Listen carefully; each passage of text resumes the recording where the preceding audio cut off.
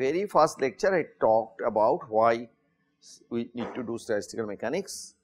It is a difficult subject, very difficult subject and um, uh, in the in the evolution of statistical mechanics, uh, physicists and chemists almost you know they were hand in hand. Many many things were done together. Um, Willard Gibbs many times is one of the father was considered to be a chemist. Uh, uh, when I was doing PhD, he was referred to as a uh, American chemist. now I think he is claiming as much as so, very fast lecture that we did, we did the preliminaries.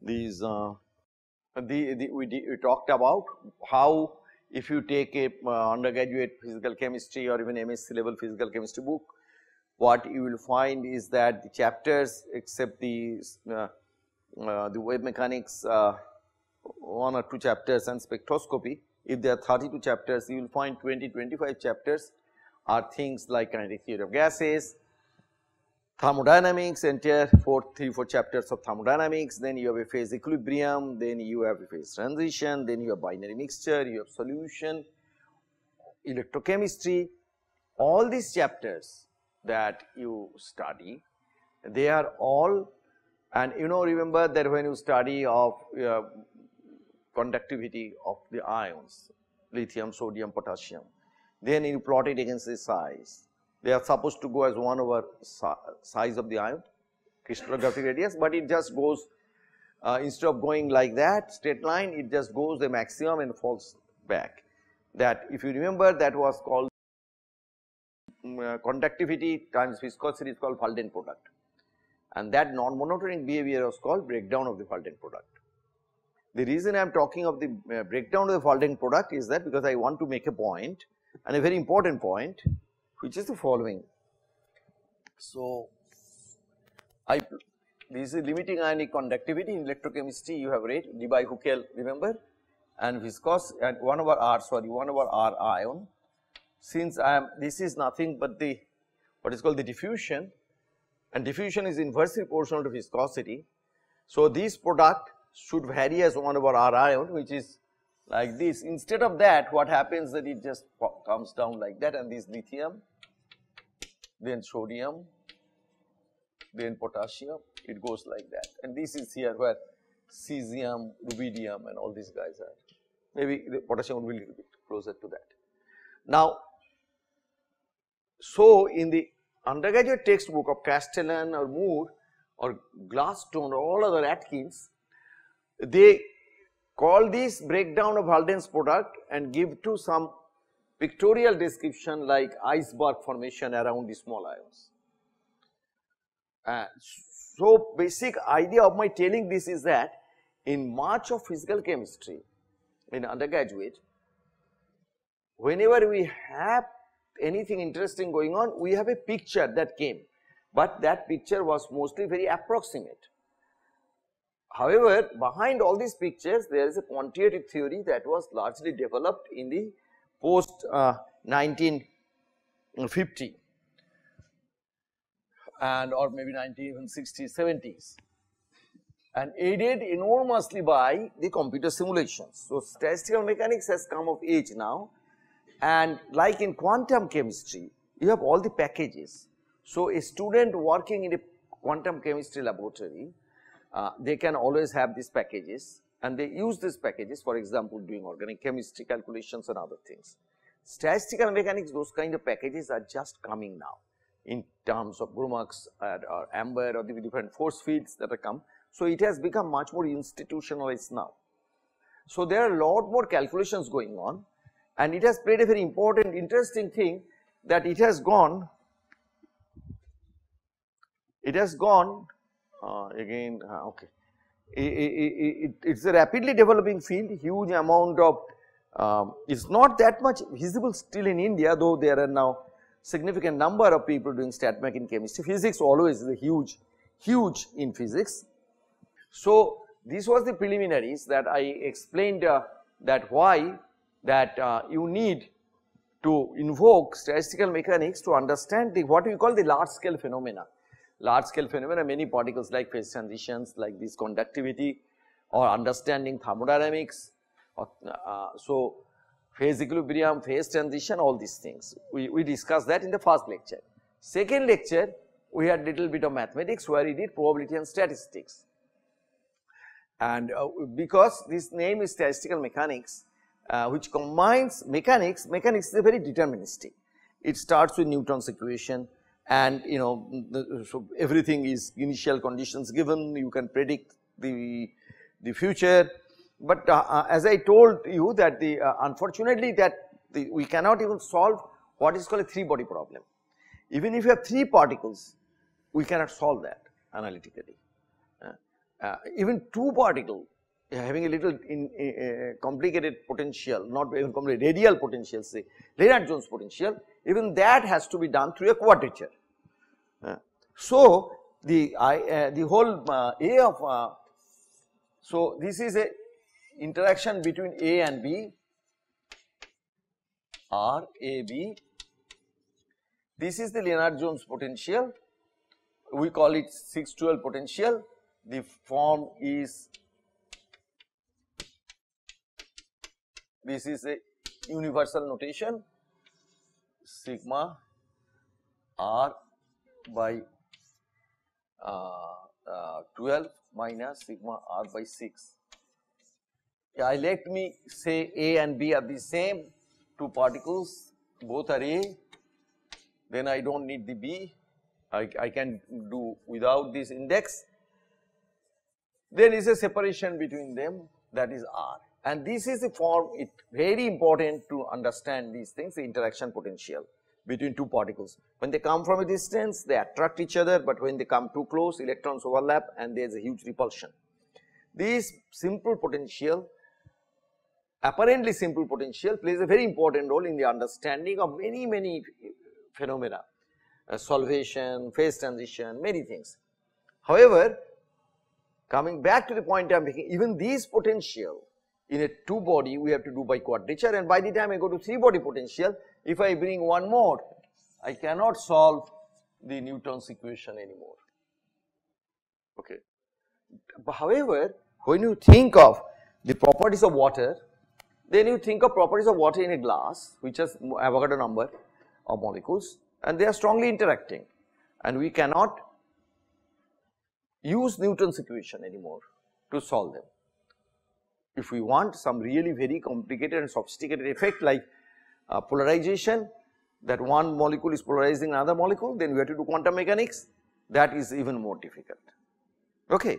So, we are faced with then a situation where we have to explain natural phenomena like why ice melts and then why steam uh, um, 100 degree centigrade becomes steam, why I put a solute there then depression of freezing point and elevation of boiling point that you have learned in school. And these kind of things if you want to understand you cannot uh, from first principles. And what do I mean by first principle? This is a term we use again and again in statistical mechanics, we also use quantum mechanics. Quantum mechanics when you see first principles we think that we are starting from Schrodinger equation and interaction potential uh, and going about it. Of course they are, uh, they are look, looking at the electronic properties and uh, there are there are there, there are uh, uh, approximations and there are uh, answers. In statistical mechanics why one can do quantum statistical mechanics right now let me focus on classical statistical mechanics that because the large amplitude large scale phenomena like phase transition or as I am saying why steam bites you more than mm, water at the same temperature depression of uh, freezing point like you add salt that is what the principle of ice cream that you get um, uh, you can go to minus 20 degree centigrade that is where ice cream forms. Uh, you can do that experiment um, doing that. Now uh, you can ice cream ice cream maker and there is a liquid there which is can goes very low temperature and you put water and you can make the ice cream no not water milk and water. Now so these many many large amplitude phenomena that we want to understand we cannot do by following Newton's equation anymore. So then we need the, uh, but how do we go? So Newton's mechanics classical mechanics means Newton's equations or Hamilton's equation or whatever let us continue with Newton's equation which we know.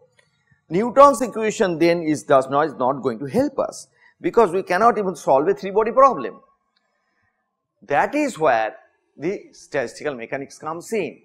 It was formulated starting with Maxwell, Boltzmann then Willard Gibbs. Now, so what is then I do? I cannot do mechanics as I know it. So, I have to do that there was a, this was a huge huge um, uh, conceptual and philosophical problem in the 19th the end of 19th century when uh, people started introducing the concepts of statistics and the what it all started with the work of Maxwell you know Maxwell all, all of you know the Maxwell velocity distribution. Maxwell is the first guy who told okay if I have in a glass jar a, uh, a, a bunch of atoms and molecules at a temperature T, I do not need to follow at a, each of their each properties of each atom or molecule. Instead, I can talk in terms of distribution. So, Maxwell said, okay, what are the, and Boltzmann also, what are the properties we want to know? I want to know the viscosity of the gas and later viscosity of the liquid. I need to know the pressure, equation of state, you know, how is the PV equal to nRT is the ideal gas. But when you go to little high density, ideal gas law breaks down and then comes the virial equation. Okay. How do I get then virial coefficients? So, and uh, uh, so then Maxwell said I do not need to know individual atoms and molecules in a departure striking departure from uh, classical mechanics instead I will talk of a probability distribution. As soon as the concept of probability distribution came in then came the question of statistics. How do I define probability? I need statistics to define probability. Okay. So, that is what it was the second lecture and which we discussed probability and statistics. Then the last lecture, third lecture, we, we started talking the postulates. So, fundamental concepts and postulates, I will revise a little bit of that, but then I will not do Liouville theorem in this lecture, I will do it later. I will go to directly to something which is little bit more application ensembles and partition functions. And what these are from my book and what I uh, written there that actually earlier I have this from postulates to formulation. So, we will go to the formulation of statistical mechanics today. So, it is a very important class in that sense this and next class and uh, what I had before the title is that from promises to realization because there was this promise that was made by Boltzmann and Willard Gibbs, well Willard Gibbs mostly realized it. So, the postulates both Boltzmann and Willard Gibbs uh, uh, played a role in get, giving us the main postulates of statistical mechanics. From there we will directly go now because this is more to do with dynamics and we will do that uh, at some stage, but not now. So, the postulates there are two postulates what are uh, connected by the one, one hypothesis. And based on that statistical mechanics promises to explain the natural phenomena which is a very high A. So, first postulate, so there are postulates that I did last, but this is so important is no harm done doing it once more. So, first postulate is called uh, time average and equal to ensemble average.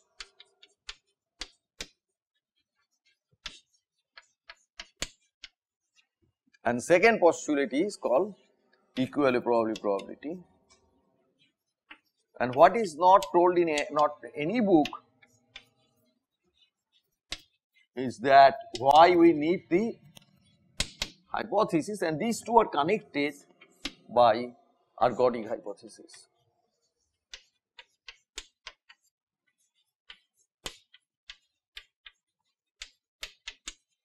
I I'll spend five uh, uh, next five minutes talking about it. Then we'll go to the starting the uh, uh partition function and ensembles.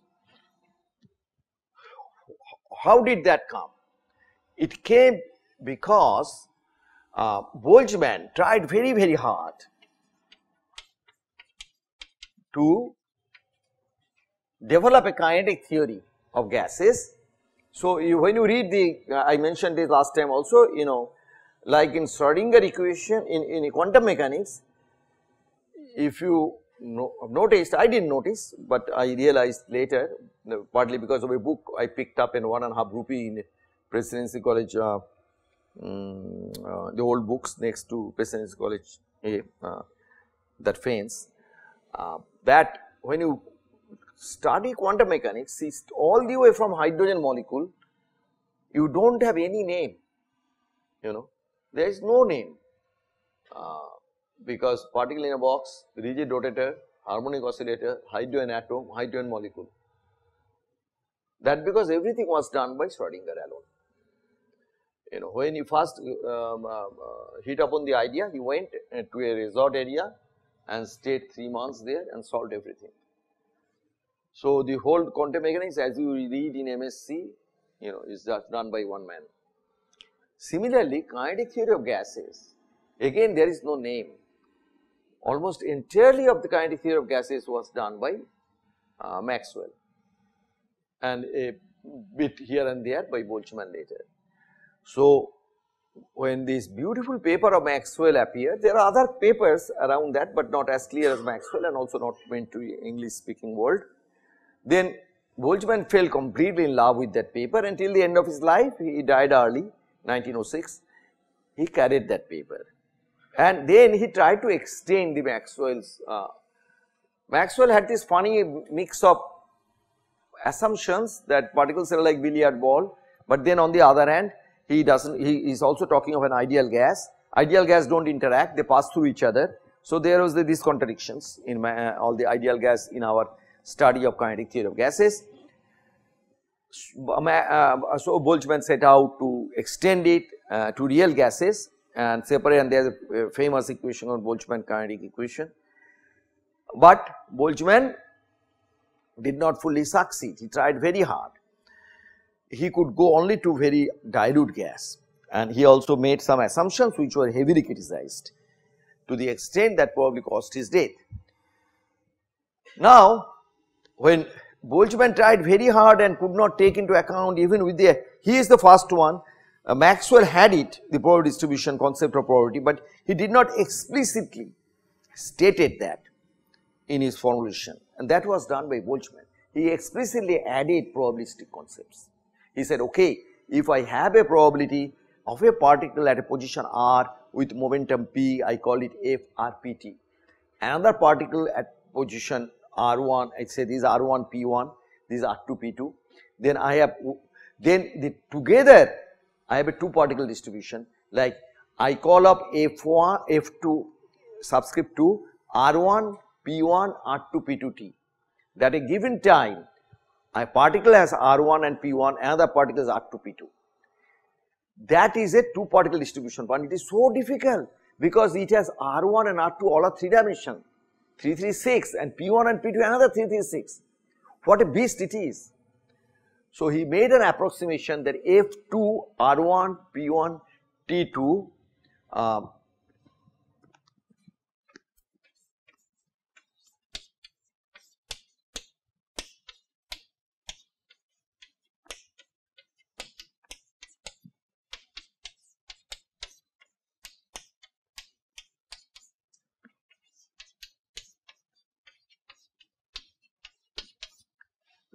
This was called is random, random chaos approximation and that he was immediately and hugely criticized for making this approximation, but he had no other option. Uh, once uh, uh, subsequent whole century people have tried to, 100 years people have tried to extend that and have done to some extent. So, when Boltzmann tried this, he could extend only to on the other side of Atlantic, one person who looked with concern at the difficulty faced by Boltzmann who was equal fan of Maxwell and Maxwell distribution his name is Willard Gibbs. Willard Gibbs then thought okay what Boltzmann did is not tenable anymore we cannot go that way because we cannot do two particle three particle is out of question and there was many other complexity. So, then Willard Gibbs make the important observation that the, as I told last class also that let me have 10 glasses, 10 glasses of water half full. Now, uh, now if I look into by that time uh, the uh, uh microscopic motions and all these things were somewhat kinetic theory of gases was, uh, was, was already understood. So, if these 10 glasses all of the glasses if I think of the microscopic state and a microscopic state now is de de uh, defined by uh, giving the position and momentum of each particle. So, I have n particles then I give you R1, R2, Rn, I give you P1, P2, Pn that together determines my microscopic state of the system. Now my 10 glasses all these have water. Now all of these uh, microscopic all of them have the same properties. They have the they are in same temperature, they have the uh, let me call the same volume, they have the same pressure, they have the same specific heat, they have the same conductivity, a, a, a same entropy, every property is the same. But certainly the microscopic state of all of them would be different because there is such a huge number of microscopic states. Atoms and molecules are moving around.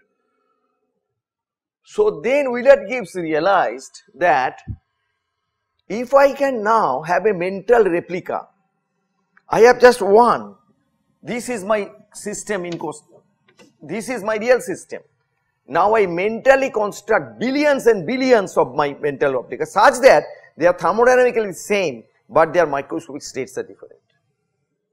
So they are mental construction. This mental construction is called ensemble. Then he said, okay, my over, if I wait for a long time, then my D system, my system in question, going to go through all the microscopic states, which are essentially same microscopic states which are these particles are, these systems are. So now, if I now in my mental replica, I create a mental uh, billions and billions of copies of these things which I call ensemble, the collection is called ensemble, if I can take average of that, then that would be same if I now study what Boltzmann tried to do, study the detailed trajectories. Trajectory means the path that a particle takes. All the particles take together. That will be the same. That means if I can do a time averaging over infinite time with Boltzmann tried and if I can replace by the ensemble averaging, averaging over all these my mental, I will be a little bit more uh, exact. Uh, because sometimes words don't, language don't carry the eh, difficult, but uh, so now they, so that was the first assumption a first postulate of statistical mechanics that time average equal to ensemble average. Now as soon as Gibbs did that, there is a problem came Problem came that when I am doing time averaging, yeah, I have one system which I am studying for a very long time and I am studying the motion of atoms and molecules, their positions and momenta and then I am averaging a property for example pressure, I am averaging a property for example the internal energy, their enthalpy, entropy. But now I have uh, replaced by the my mental construction. But what is the guarantee that my mental const my, my what is the guarantee that the system I am following for infinite time will go through all the microscopic states. And second, even if they go through all the microscopic states, what is the, uh, what, how do I, how do I give a probability to it? So that is the time the, uh, we, he introduced that I am going to talk of the systems with a constant number n, constant volume v and constant energy E. So, all my mental replica have a constant energy E. So, the, all the microscopic states have the same energy E. If all the microscopic states have the same energy E, then I can now assume and I have no other option but to assume under this ensemble that there is equally probability all the microscopic states are equally probable. There is no other option than to do that. It turned out it is correct, it worked out, but that means all the subsequent work said that is okay. All the microscopic states with equal energy are equal. We will still work on this. So, so these are the two first postulates.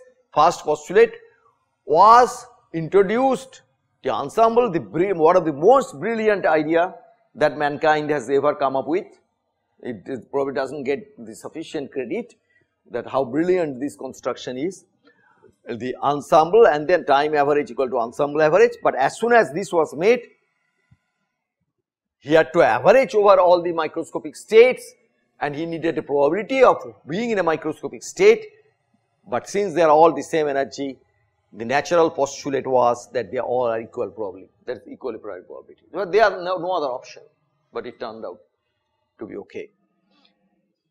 Now came what I was in, in between started talking about that now came the problem following, then Gibbs face the following problem. Okay, I have done time average ensemble average and I have said equal probability, but what is the, so in ensemble average I am going to billions and billions of microscopic states.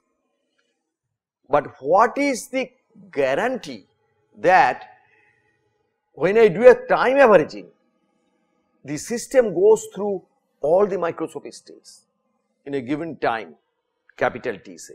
What is that guarantee?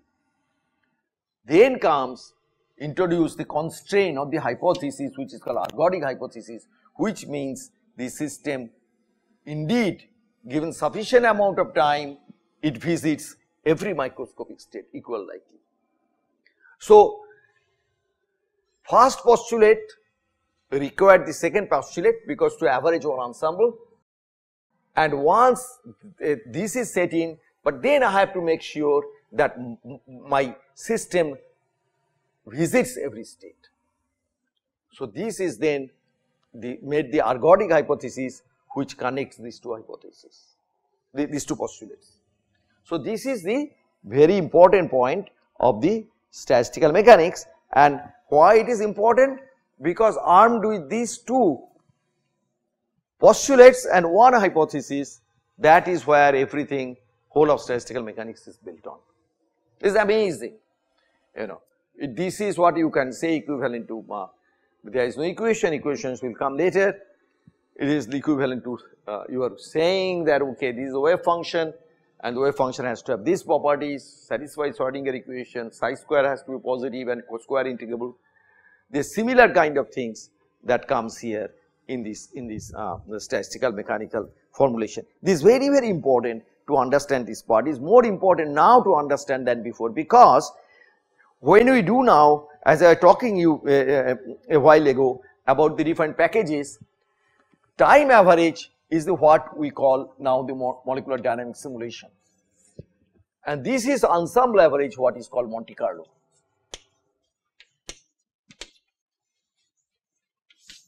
So these are the two major branches of computer simulations that we do and the same problem envisaged by Gibbs so many years ago, more than 100 years ago, is exactly the problem we face now. So when I do equilibrium statistical mechanics, equilibrium properties like phase transition, I land up the problem by one phase to another phase that cannot be done in molecular dynamic simulation because it cannot explore all these states. It gets stuck in a minima. We'll talk about it. Now, that's where you go to Monte Carlo, which is much better to do time independent equilibrium properties. Now, uh, was asking me today why we do mix these two. The reason we mix the two is that many times molecular dynamics gets stuck. So, we follow a hybrid where you start with a multiple, not too many, maybe 10 or 20 initial condition then do molecular dynamics on that and then probability of initial state given by the energy. So, the hybrid simulation is a very popular thing now to study really like really really complex problems like in biology or like in uh, like in uh, water in a supercooled uh, in a very low temperature. There are a lot of interest now in water in low temperature because there is some presumably liquid liquid transition and people have gone banana over that. Okay. So, Uh, but now I will slightly talk if I have. Okay. Now, this is the kind of thing that I uh, want to point out. Say I have a particle which is undergoing some kind of a, so this is a particle, but I have a, a, a, a kind of a landscape, an energy like this. In that case, the particle can get stuck here. This is a very simple thing, a one dimensional walk, random walk, but in ordinary random walk, drunkard's random walk, you don't have the, you have a flat energy, but you have a called, we call rugged energy landscape. Such a simple problem, one dimensional with energy distribution, it just hell to get a, uh, a molecular dynamic simulation going into uh, this kind of a system because it becomes non-ergodic very quickly. And uh, so, if you want to calculate equilibrium properties, you do a Monte Carlo, you just sample, that is very easy to do. On the other hand, if you want to do dynamical properties, it becomes very, very difficult. So, this is an example what we call compromised ergodicity. So, the ergodic hypothesis was particularly made to make sure these kind of situations are not done. Now, why it does not uh, is less serious? Many of the cases in NVE because all of them are same energy like this will be ruled out by if I can do the simulation NVE because these kind of things are not allowed. However, in real system we do not do NVE, we do the other ensemble which I am now going to going to discuss.